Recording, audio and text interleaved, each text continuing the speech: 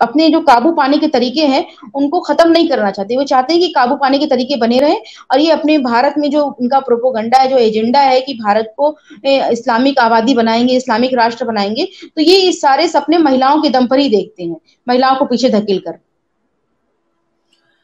बिल्कुल तो क्या यही वजह है कि हम देखते हैं कि जितने भी इस्लामिक इदारे हैं, वो यूनिफॉर्म सिविल कोड का बड़े ज़ोर शोर से विरोध करते हैं, कहते हैं कि यूनिफॉर्म सिविल कोड लाया गया तो हम सड़कों पर उतर आएँगे ये हमारा अधिकार है, विविधताओं वाला देश है।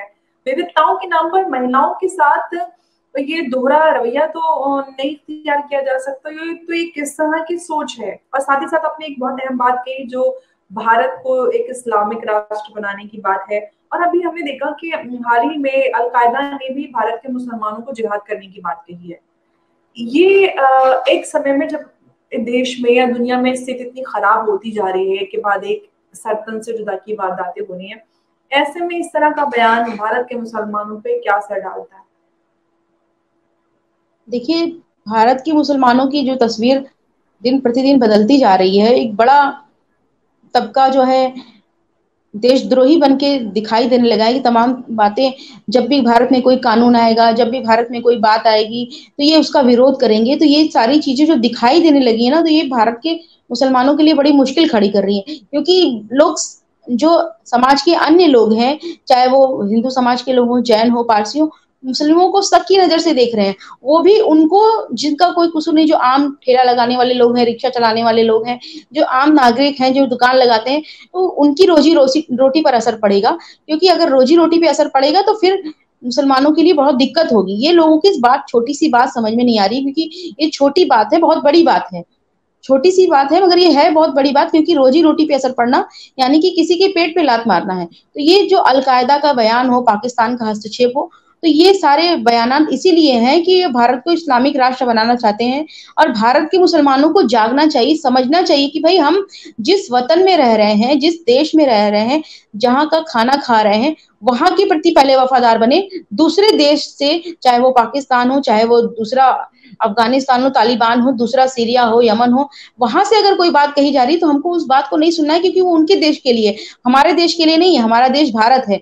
ये बात सबको समझ में आनी चाहिए। मगर लोग, मगर हमारे यहाँ के जो इस्लामिक कट्टरपंथी हैं, जो अपने दिमाग में कट्टरता भरे बैठे हुए हैं पहले से और अपनी कट्टरता का जहर दूसरे के दिमाग में भी डाल रहे हैं, ये बड़ा खतरा पैदा कर रहा है। क्योंकि खतरा महिलाओं के लिए भी है और हमारे ख्याल से, मेरे हिसाब से तो अब महिलाओं को जागरूक होना चाहिए। हम सभी का यह फ़र्ज़ है कि अपने आसपास के लोगों को जागरूक करें कि आप भड़किए नहीं, भटकाइए नहीं, क्योंकि भड़कने और भटकाने से देश का, समाज का और अपने परिवार का नुकसान कर रहा है इंसान। परिवार, क्योंकि भाई जिस मोहल्ले में आप रह रहे हैं, वहाँ आपका पड़ोसी किसी दूसरे मज़हब को मानने वाला है। और ये टीवी पर बैठ करके देखेगा या मीडिया में देख रहा है कि मुसलमान जो है, भारत का भारत विरोधी नारे लगा रहे हैं तो वो अपने पड़ोसी को भी तो सक की नज़र से देखेगा। इस बात को समझने की ज़रूरत है। ये बात बहुत छोटी है, मगर दिमाग में बिठाने की ज़रूरत है कि हमें अपने मुल्क के प्रति वफादार बनना है, उसके प्रति गद्दार नहीं बनना है।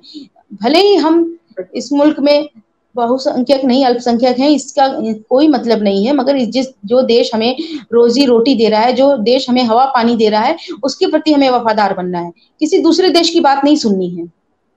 बिल्कुल आपने सही कहा, देश के प्रति हर एक व्यक्ति की ज़िम्मेदारी सबसे पहले होती है। और एक अहम बात हम जिस मुद्दे पे हम बात कर रहे हैं स्टार्टिंग से, अगर हम मुस्लिम महिलाओं के अधिकारों की का जागरूक कराना या उनको, उनके अधिकारों से अवगत कराना या उनके हक के लिए खड़े होने की हम बात करते हैं तो वो बड़ा कम नज़र आता है। जो महिलाएँ खड़ी होती हैं, उनको क्या क्या बोला जाता है वो आप जानती हैं, भली भांति। ऐसे में ये राह किस तरह आसान हो पाएगी जो यूनिफॉर्म सिविल कोड लाने की बात की जाती है, बराबर के अधिकारों की बात की जाती है कानून के अंतर्गत? देखिए, ये आसान बिल्कुल नहीं है, क्योंकि जब आप बहुत अच्छी तरह से जानती हैं कि जब ट्रिपल तलाक आंदोलन चल रहा था, उस वक्त भी कितनी दिक्कतें हुई और उसी के अपोजिट आप देखिए, जब सी ए और एनआरसी का मामला चल रहा था तो कितनी सारी मुस्लिम औरतें जाकर के वहाँ बैठ गई और भारत विरोधी गतिविधियों में लिप्त हो गए। तो आज जब उनके हक की बात हो रही है, ये उनको बताना और समझाना पड़ेगा। मैं इसके लिए खास तौर पे स्कूल, कॉलेज में के ज़रिए बच्चियों के बीच में जाकर के बात करने की बात कहूँगी कि उन बच्चियों के बीच में जाकर के बात की जाए कि इस्लामिक कट्टरपंथीता से जो छोटे छोटे बच्चे एट क्लास में, सेवन क्लास में नाइन्थ क्लास में टेंथ क्लास में पढ़ने वाली बच्चियाँ हैं, वो भी इतनी कट्टर अपने दिमाग में कट्टरता भरी हुई है कि निकल, निकालना बड़ा मुश्किल है, मगर फिर भी कोशिश जारी रखी जा सकती है, जिस तरह से हम लोग को उम्मीद नहीं थी कि ट्रिपल तलाक पे कानून बनेगा या उसके कोई बिल आएगा तो वैसे ही इस पर भी विश्वास नहीं, मगर फिर भी जीत होगी क्योंकि जीत हम लोग सही के लिए खड़े हैं और अच्छाई की जीत होती है हमेशा, बुराई की नहीं। आप अगर किसी चीज़ का बुरा फ़ायदा उठा रहे हैं, गलत फ़ायदा उठा रहे हैं तो इसका मतलब ये नहीं कि आप जीत जाएँगे, गलती करके आप जीत जाएँगे। और इस्लाम धर्म कहीं पर भी कोई भी मज़हब हो वो कहीं पर भी किसी को घर से बेघर करना या किसी पर जाति करने का हुक्म नहीं देता है। तो इस्लाम इस्लाम भी इसका हुक्म नहीं देता तो आप ज़बरदस्ती अपने मन घड़न तरीके से इस्लाम को क्यों बनाना चाहते हैं? इसका मतलब कि आप कल दिन आप खुद को कह देंगे कि हम पैगंबर हैं, हम खुदा हैं, हमें मानो। यही आप लोग की चाल है, क्योंकि अगर इस तरह की कट्टरता रहेगी तो लोग एक ना एक दिन अपने आप को ये भी घोषित करने में लग जाएँगे। इस बात को समझने की ज़रूरत है। इसलिए हमारी हम लोगों की ये पूरी कोशिश रहेगी कि जिस तरह से पिछले दिनों आंदोलन चला, ट्रिपल तलाक को लेकर के, वैसे ही आंदोलन पूरे देश में खड़ा हो और पूरे देश की जो पढ़ी लिखी जो हमारी मुट्ठी भर महिलाएँ हैं, वो मुट्ठी बन करके ताकत बन करके निकलेंगी और वही परिवर्तन लाएँगी। वो ढेर सारी जो भीड़ है, वो परिवर्तन लाने वाली नहीं है, ना ही उनको समझाना आसान है। ये बहुत मुश्किल काम है, मगर फिर बदलाव की एक कोशिश करने की हम एक छोटी सी कोशिश कर रहे हैं। उसके अलावा बिल्कुल आसान नज़र नहीं आती क्योंकि ये जब भी बात हुई और जैसे इस पे बहस हुई तो लोग खासतौर से हमारे मौलाना हो, हो उनका गुस्सा कि ये तो आरएसएस बीजेपी के प्लांटेड लोग हैं दलाल हैं और ये है वो है। सबसे बड़ी अफसोस की बात नाजीन जी ये है कि वो महिला जिसके ऊपर जुल्म हो रहा है जिसको उसका शौहर बिना किसी खर्चे पानी के बिना किसी सामान के प्रेगनेंसी की हालत में घर से निकाल दे रहा है पूछ नहीं रहा मार तोड़ रहा है उन महिलाओं का कोई सुनने वाला नहीं होता, उनको दलाल बता दिया जाता है और जुल्म करने वाले के लोग साथ में खड़े हो जाते हैं और फिर कहते हैं कि इस्लाम तो शांति का और हक परस्ती का मज़हब है। वो हक करते हुए नज़र क्यों नहीं आते?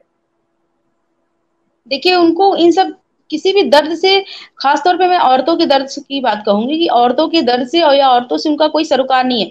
औरत को सिर्फ़ वो एक वस्तु, एक सामान समझते हैं जो जब चाह तब इस्तेमाल किया और जब चाह फेंक दिया। वो सामान की तरह समझते अगर वो औरत को इज़्ज़त की नज़र से देखे, सम्मान की का विषय समझे तो तब उनको ये दर्द महसूस होगा। और जितने भी ये देखिए केसेस होते हैं ना, ये छोटे तबके निम्न वर्ग के लोगों में होते हैं, जहाँ पर लोअर क्लास के लोग हैं या फिर मिडिल क्लास में होते हैं, जितने भी बड़े मौलाना है, आलिम है, वो अपने घरों में इस तरह की हरकत होने नहीं देते, ना ही इन सारी चीज़ों को बर्दाश्त करते हैं। तो इसलिए ये सारी चीज़ें इसीलिए बढ़ रही हैं, क्योंकि बड़े लोग तो उसमें हस्तक्षेप करते नहीं है और छोटे लोग अगर जो कमज़ोर हैं, जो गरीब हैं या जो मध्यम वर्गीय हैं, जो उनके दिमाग खराब हो चुका है, इस तरह के लोग करते हैं तो वो उनको समझाने का काम भी नहीं करते। वो इस बात को इस कह के स्वीकार करते हैं कि ये हमारे मज़हब का हिस्सा है, हमारे इस्लाम का हिस्सा है, इसलिए ये सारी चीज़ें हो रही हैं। अगर मजहबी लोगों ने जो मज़हब के ठेकेदार बने हुए हैं और अगर उन्होंने औरतों के दर्द को समझा होता तो वर्तमान समय में बदलते वक्त के साथ साथ औरतों के दर्द को भी वो समझते हैं। मगर आज वो समझ ही नहीं पा रहे हैं कि आज का आदमी अपने घर वालों से, अपने पिता से नहीं डरता, अपने बाप से नहीं डरता तो वो सिर्फ़ किससे डरेगा? वो तो कानून से डरेगा, वो आपकी क्यों सुनेगा? तो इसलिए कानूनी उसको जो रूप है वो हिंदू विवाह अधिनियम की तरह, मुस्लिम विवाह अधिनियम भी बनना चाहिए, क्योंकि इस तरह के फटाफट तलाक, आसानी से तलाक, ये सारी चीज़ें अब समाज को खराब करेंगे, मुस्लिम समाज को खराब करेंगे, और उसमें जो सबसे ज़्यादा नुकसान हो रहा है, वो बच्चों का नुकसान हो रहा है। क्योंकि बच्चों बच्चों को देखिए ना अगर माँ शादी कर लेती है। बाप शादी कर लेता है तो बच्चे कहाँ जाएँगे? किसके पास जाएँगे? भाई दूसरा बाप उसे स्वीकार नहीं करेगा दूसरी माँ उसको स्वीकार नहीं करेगी तो ऐसे में बच्चों की मानसिक स्थिति पर बहुत फ़र्क पड़ रहा है। दौर में जो है बच्चों की मानसिक स्थिति और औरतों की मानसिक स्थिति को समझते हुए इन सब चीज़ों में बदलाव लाना ज़रूरी है और इसे भारतीय संविधान के अनुसार होना चाहिए। किसी पर्सनल व्यक्तिगत धार्मिक उसके ज़रूर अनुसार नहीं होना चाहिए क्योंकि वर्तमान दौर को देखते हुए उसे संवैधानिक रूप देना ज़रूरी है। किसी भी कानून को अगर हम संवैधानिक रूप से देखेंगे मज़हब से ऊपर उठ करके और किसी भी चीज़ के लिए उस समुदाय का दर्द का समझना ज़रूरी होता है। आज हमारे मुस्लिम समुदाय में लोग महिलाओं के दर्द को, बच्चों के दर्द को नहीं समझ पा रहे हैं। वो पुराने दौर में जी रहे हैं, जहाँ पे तीन तीन चार चार शादियाँ करते थे लोग मन मनचाहा। और पहले के दौर में देखिए, जब लोग इतने जागरूक नहीं थे, कम पढ़े लिखे थे, मौलाना नहीं थे, मगर तलाकें नहीं इतनी होती थी। लोग इतनी फटाफट तलाक दे करके किसी को घर से बाहर नहीं निकालते थे। वर्तमान में देखिए, जितनी चीज़ें सुधरनी चाहिए, उतनी व्यवस्था बेकार होती जा रही है हमारे हमारे समुदाय में। इसलिए इन मानिंद लोगों का जागरूकता अभियान चलाना ज़रूरी है।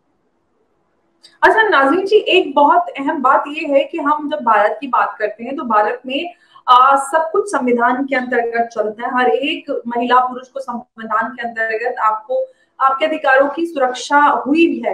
लेकिन जो भारतीय मुस्लिम महिलाएँ हैं, उनको आज तक सुरक्षा नहीं मिल पाई और इसका अ, जो हम देख रहे हैं इसकी का इनिशिएटिव ना तो हमारे समाज के लोगों ने लिया है, ना ही और किसी ने लिया है कि भारतीय मुस्लिम महिलाओं को भी वो अधिकार और सुरक्षा मिलनी चाहिए ताकि उनमें भी वो कॉन्फिडेंस, वो आत्मविश्वास दिख सके जो और किसी एक भारतीय महिला में नज़र आता है। इसकी वजह आप क्या देखती हैं?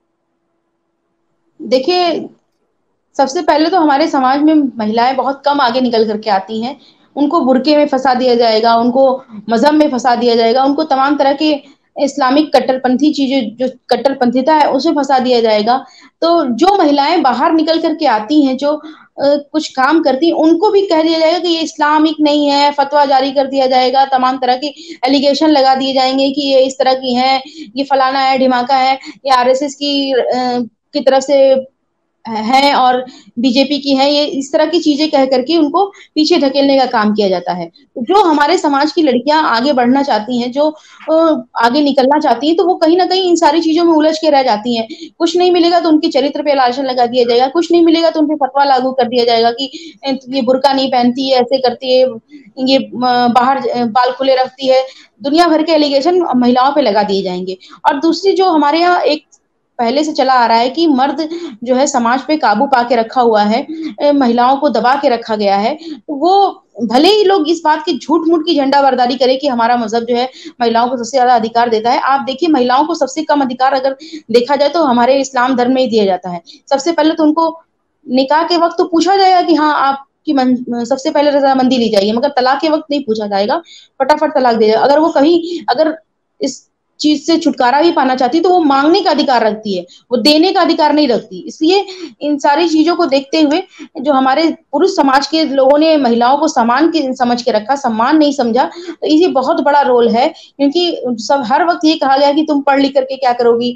आगे बढ़ के क्या करोगी? तुम्हें तो चूल्हा-चौका करना है, तुम्हें दूसरे के घर जाना है। ये सारे जो जुमले हैं, महिलाओं को पीछे धकेलने में बहुत बड़ा काम करते हैं। और महिलाओं ने भी कभी बहुत आगे बढ़-चढ़ कर की कोशिश नहीं की, जो आगे बढ़ गई महिलाएँ उनको फ़ॉलो करने की भी कोशिश नहीं की, कि हमें इनकी तरह बनना है। बहुत कम महिलाएँ हैं जो आगे बढ़कर आगे निकल करके आई उन पर भी तमाम तरह के एलिगेशन लगाएँगे कि मुसलमान नहीं इन पे फ़तवा लागू कर दो, इनको इस्लाम से खारिज कर दो। तो ये जो इस्लाम से दाखिल खारिज करने का इन्होंने तरीका बना के रखा हुआ है, लोगों को डर लगता है कि भाई महिलाओं को डर जाती है कि अगर हम घर से बाहर निकले, हमारे पे फ़तवा लागू हुआ तो हमको कौन पूछेगा, हम अपने परिवार में नहीं रह सकते, हम अपने समाज में नहीं रह सकते। इस तरह का डर महिलाओं के अंदर बना रहता है। तो ये डर दिखा करके महिलाओं के अंदर की जो आत्मविश्वास की आज कमियाँ हैं, जो मुस्लिम महिलाएँ आज कहीं ना कहीं पीछे हैं। आप पूरी दुनिया में देखिए महिलाओं की बराबरी की बात हो रही है, महिलाओं को आगे बढ़ाने की बात हो रही है और हमारे इस्लाम समाज में आज भी पिछले दिनों जो भारत में हुआ कि बुर्के को लेकर के कि हमारी महिलाएँ घर से बाहर निकलेंगी तो हिजाब लगाएँगी बुर्का लगाएँगी इस बात में लोगों ने पूरे